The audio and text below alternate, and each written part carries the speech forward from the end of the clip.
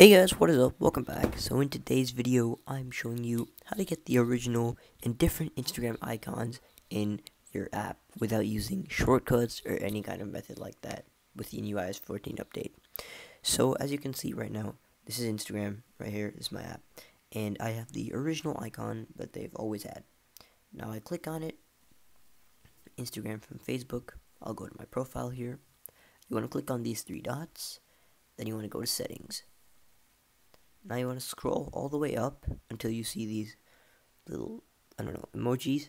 That's a thinking emoji, up emoji. Surprise! You open that and there's confetti on your screen. Now it automatically slides, you.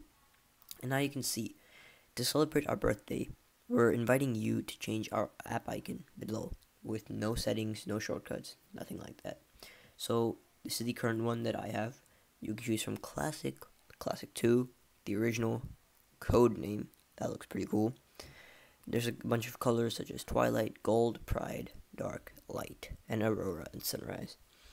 Uh, so now you can choose whatever you want. I'll just show you with code name. I click code name, and it says you've changed the icon for Instagram. I'll click OK. I'm going to go back into my home screen. As, as you can see, there's no Instagram icon. It's just changed to code name. And you can do this for anything. You can do change changes to original as well. And you don't need to download anything else, just Instagram. It's really cool. And if you enjoyed this tip and trick, please consider leaving a like down below and comment down below. Comment down below how if it was useful for you or not, if you already knew it. Alright guys, see you in the next video.